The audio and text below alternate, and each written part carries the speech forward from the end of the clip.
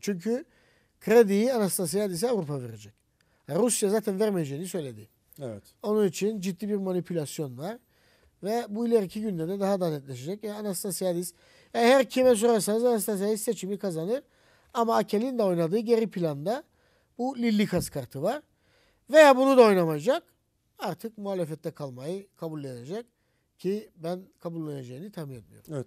Bir siyasi e, girişim daha var aslında Güney Kıbrıslıların da e, aslında onu da sizinle paylaşmak istiyorum. Çünkü e, Ukrayna milletvekillerinden e, Milli Meclis Başkanı kendisi e, defalarca Kuzey Kıbrıs Türk Cumhuriyeti'nde bulundu. Hatta Yakın Üniversitesi kurucu rektörü Doktor Suat İrfan Günsel'in misafir olarak da Kuzey Kıbrıs Türk Cumhuriyeti'nde bulunduğu meclis başkanını ziyaret etti, Cumhurbaşkanını ziyaret etti ve e, Güney Kıbrıs Büyükelçisi Ukrayna'nın e, Mustafa Abdülcemil Kırımoğlu'na e, Güney Kıbrıs e, Büyükelçisi'ne Enosis'i hatırlattı. Çünkü siz dedi Kuzey Kıbrıs Türk Cumhuriyeti'ne defalarca gittiniz ama biz Ukrayna ile Avrupa Birliği ilişkileri içerisinde çok iyi temaslar halindeyiz. Neden Güney Kıbrıs'ı ziyaret etmiyorsunuz dedi. O da dedi ki ben dedi sizden davet gelme davet gelirse seve seve tabii ki kabul ederim ama bir şartla. Karayoluyla ben Kuzey Kıbrıs'a geçme hakkını bana verirseniz. Bunun üzerine Güney Kıbrıs e, işte Ukrayna Büyükelçisi ile böyle bir e, sohbetleri oldu. Bu çok önemli bir şey aslında. Çok çok önemli. Evet. Yani bana dedi eğer Kuzey Kıbrıs Türk Cumhuriyeti'ne geçiş hakkını tanırsanız Gelirim. seve seve sizin de ziyaretinize gelirim kabul ederim dedi. Böyle bir girişim oldu. E, tanımak zorunda kalacak mı acaba? Yani onların en büyük korkusu bu. Ve oradaki sorular, sorulardan bir tanesi de e, kendisine soruluyor çünkü.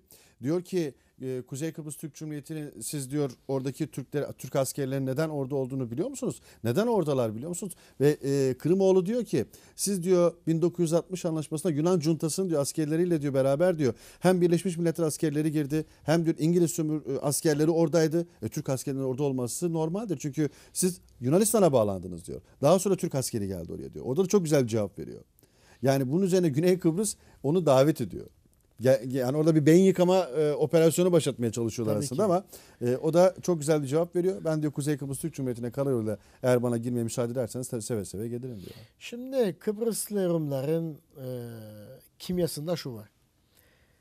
Bizi eşit ortak olarak görmüyorlar. Evet. Ha, biz kendimizi ne kadar eşit ortak olduğumuzun siyasetini de yapıyoruz dersek Koyno'ya büyük bir soru işareti. Biz ne kadar eşitik, ne kadar ciddi boyutta eşitik siyasetini ortaya koymuyoruz. Ne şimdi ne de geçmişte. Biz zaman zaman gözlerimizi kapa- kapıyoruz. E, o tarafta ne olur ne biter hiç bakmıyoruz bile.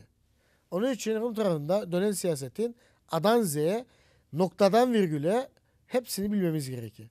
Rum tarafının bizimle ciddi bir ortaklık yapma düşüncesi olduğu konusunda ben endişeliyim.